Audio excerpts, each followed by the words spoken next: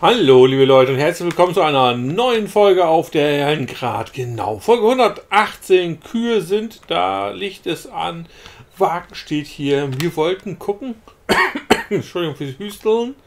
Wir wollten beim letzten Mal gucken, wie weit oder wie gut, weit nicht, er war fertig, aber wie gut die äh, Unkrautbekämpfung geklappt hat. Und das sieht sehr gut aus eigentlich. Das ist doch schon mal hervorragend. Wir werden den Kollegen jetzt auch mal hier schnappen ihn auf jeden Fall mal zusammenfalten. Also nicht, weil er böse war oder so, sondern, äh, ne? Aber dann nicht so ein bisschen besser äh, fahren können. Wir werden wohl noch äh, ein bisschen Korrektur machen, indem wir einmal an der Schräge lang fahren. Da müssen wir natürlich relativ weit hier auf dem Feld bleiben, weil wir sonst natürlich mit dem Ausläufer an der Bergkante da hängen bleiben. Ne? Den hole ich das gute Zeug jetzt hier schon mal faltmäßig raus. So. Schmeiße es jetzt einfach mal hier an. Gucke mal so ein bisschen, wie ich zur Kante stehe.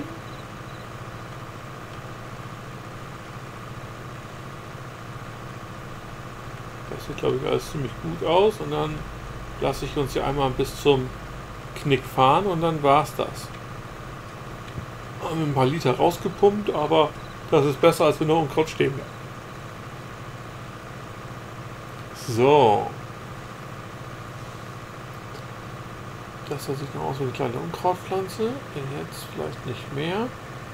So, aus die Maus, zusammenfalten. In der Zeit, wo wir das machen, gucken. Wir sehen, äh, Unkraut, hier ist die Anzeige an und hier ist äh, nichts mehr da. Das ist auch schon mal ziemlich gut.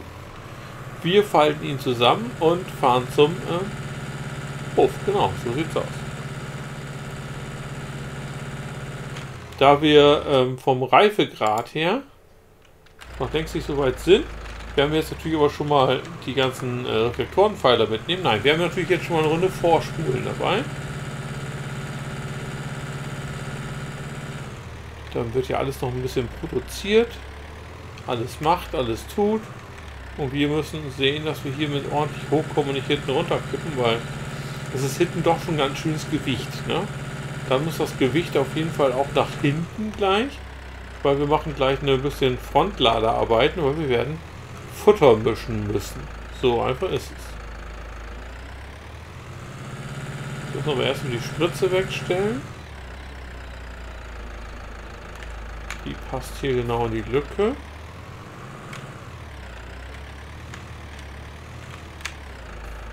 So. Und weg damit. Dann gibt es einmal vorne das Gewicht weg. Langsam wird es bald hell. Ich finde den roten Lichtstreifen oben auf cool gemacht, muss ich zugestehen. Da habe ich ein bisschen sehr raufgerumpelt, das gestehe ich auch zu. So, hier brauchen wir jetzt den Ballenspieß.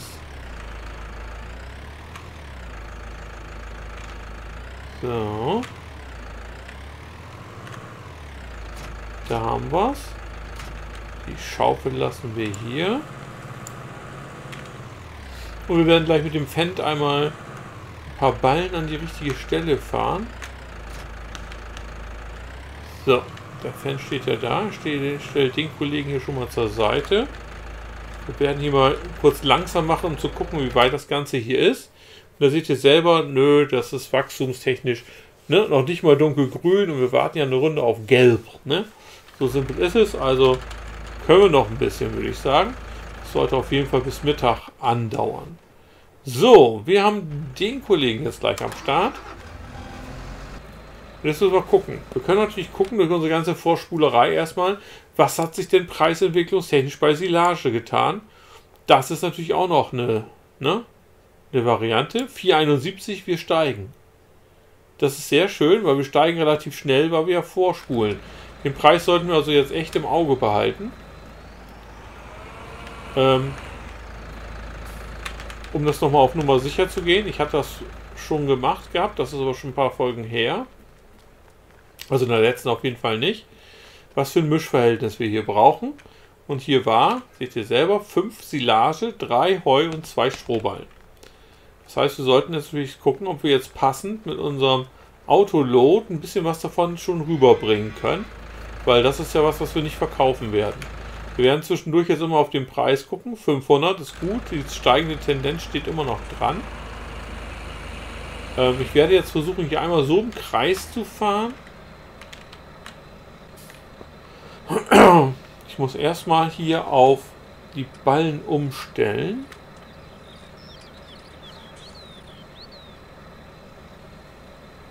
Oh, es ist bald Regen angesagt. Ich mache jetzt mal langsam, dass wir gleich noch mal gucken können. So, hier machen wir die Hilfe jetzt mal an, weil ich war schon am Umstellen, ohne zu gucken. Das macht natürlich keinen Sinn. Quaderballen, da haben wir es Rundballen. Sehr schön. Dann machen wir die Hilfe wieder aus. Ich mache hier das Autoloaden an. So, das sind jetzt 4, 6,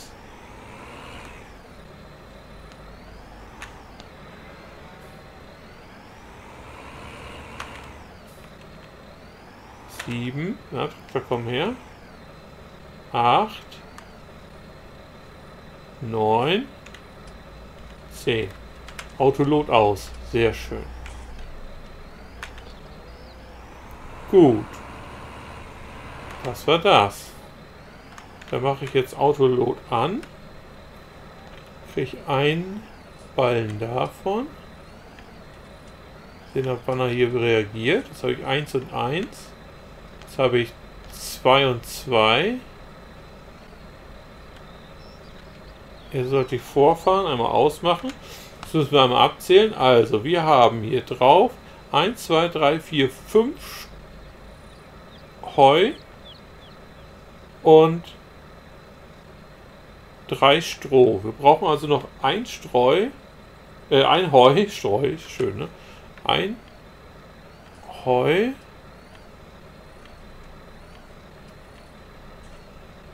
Gucken, wann er reagiert. Da ist er.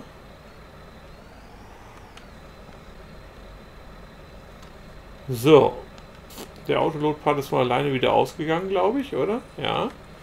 Also jetzt haben wir hier drauf 1, 2, 3, 4, 5, 6 mal Heu, 4 mal Stroh und 10 mal. Das und 10 äh, Ballen, ähm, ne?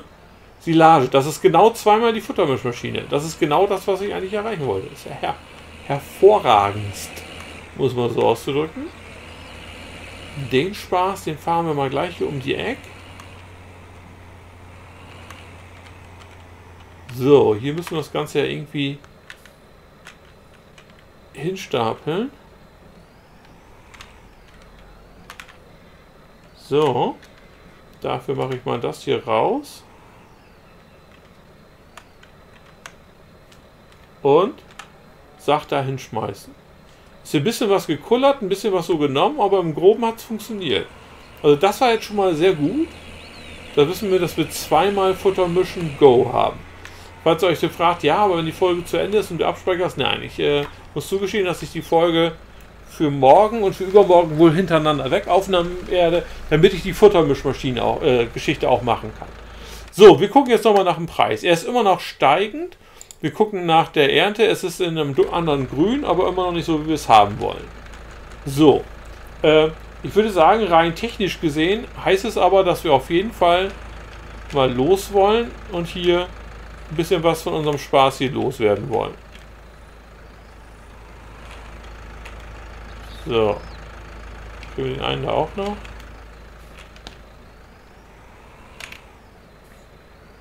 Mhm. Dass das der hält, ist ein Wunder. Ja, hätte mich auch schwer gewundert, es da nicht runtergekullert wäre. Jetzt fahren wir auf jeden Fall so, dass ich den einen hier vorne noch mitnehmen kann. So, genau. Jetzt haben wir sie alle geladen. Wir machen die Spanngurte mal neu dran.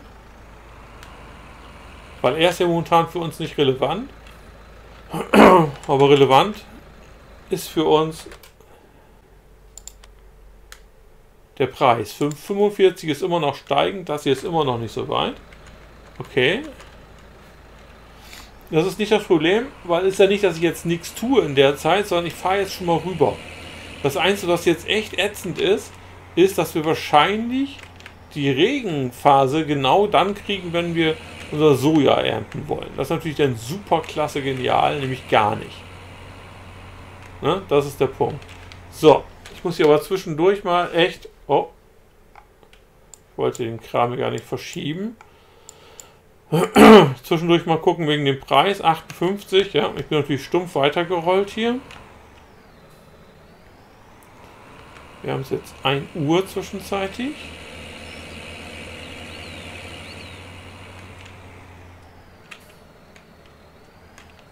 Ist hier Unkraut, wa? Ich muss mal kurz was gucken hier. Ne, das sind doch die kaputten Unkrautpflanzen, so wie es aussieht. Ähm, da war gerade Umschwung der Wachstumsphase. Deswegen gucken wir natürlich jetzt einmal sehen, wir sind jetzt im dunkelgrün gelandet, ne?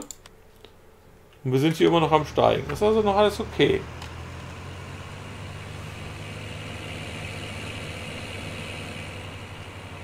Was ich natürlich jetzt als anderes Problem habe, ist, dass natürlich die Zuckerproduktion oder sowas jetzt voll sein wird und auch dass andere Sachen jetzt voll sein werden. Deswegen lassen wir jetzt die Zeit nochmal wieder runter. Wir haben es 2 Uhr nachmittags und werden mal gucken, was wir jetzt machen können.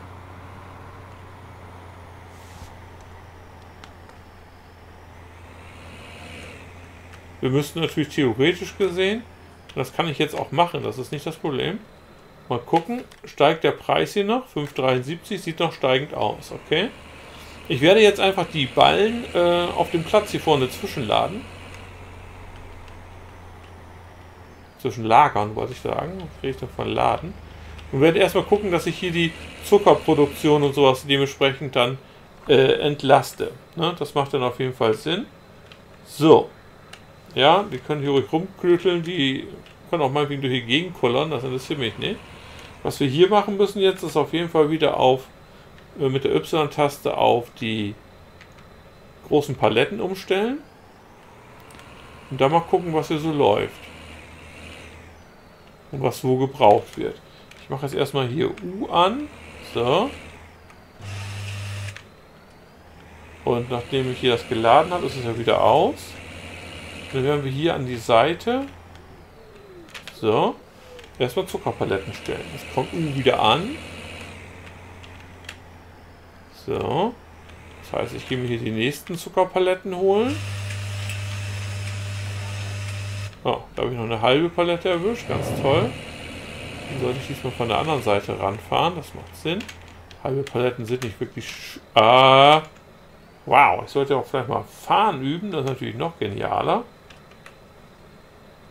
Und auch weg damit. Jetzt fahren wir von der Seite hier ran.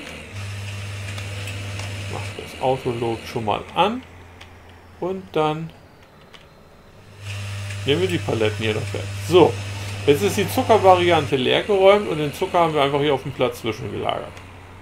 Ja, es kommt Regen, das wird natürlich in echt kein Mensch machen, aber wir sind hier nicht in echt. So, super, ja, hast du ganz brav nochmal aufgeladen. Das ist doch super. Und da laden wir den jetzt ganz brav auch nochmal ab. So, jetzt gucken wir kurz, was für Kapazitäten sind denn jetzt genutzt oder nicht genutzt bei der Maschinerie hier. Das heißt, wir haben jetzt hier, hier selber 15.000 fast.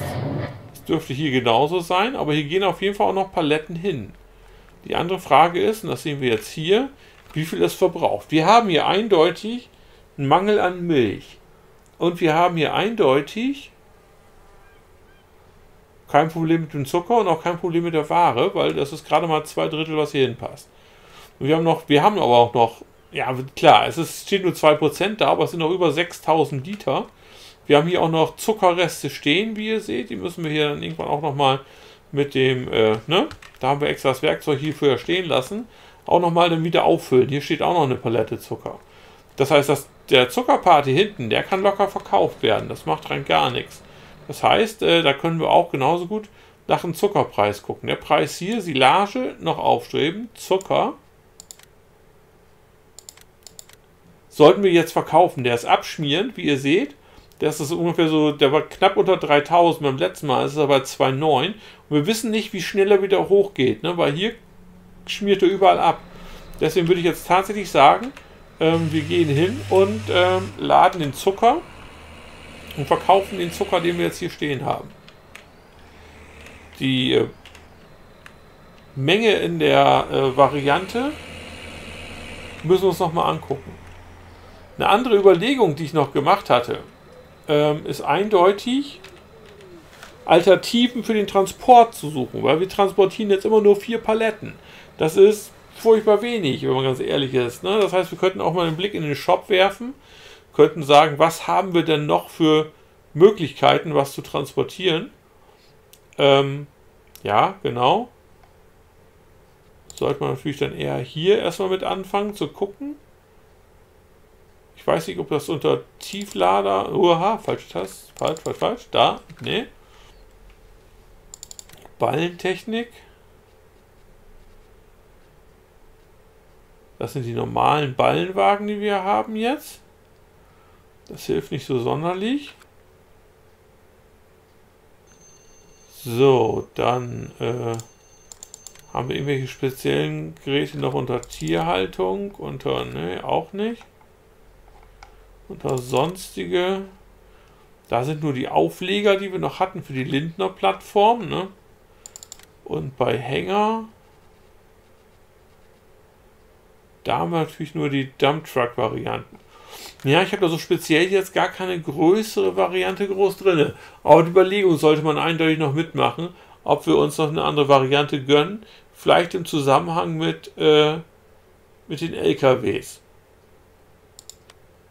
Sprich, ob wir dann tatsächlich sagen, okay, wir können uns äh, so einen gönnen und gehen mal in Richtung ne, von dem Fiat-Part, den hatten wir ja schon geliehen und der kostet ja wirklich kein Vermögen. Und uns geht es ja mit 400.000 momentan auch nicht wirklich schlecht. Und wir sind ja auch noch dabei, mehr Zucker zu verkaufen. Ne? Sollte man sich und muss man sich überlegen. Aber wir sind durch mit der Folge für heute. Hätte ich mich fast verpasst hier. Ja, äh, ich hoffe, dass es euch gefallen hat. Würde mich sehr freuen, wenn ihr auch morgen wieder mit dabei sein würdet. Wenn es euch gefallen hat, dann lasst einen passenden Daumen da. Ich würde mich sehr über ein Teilen freuen und ein Abo wäre spitzenmäßig. Dann sage ich nochmal vielen, vielen Dank für die Unterstützung und bis morgen.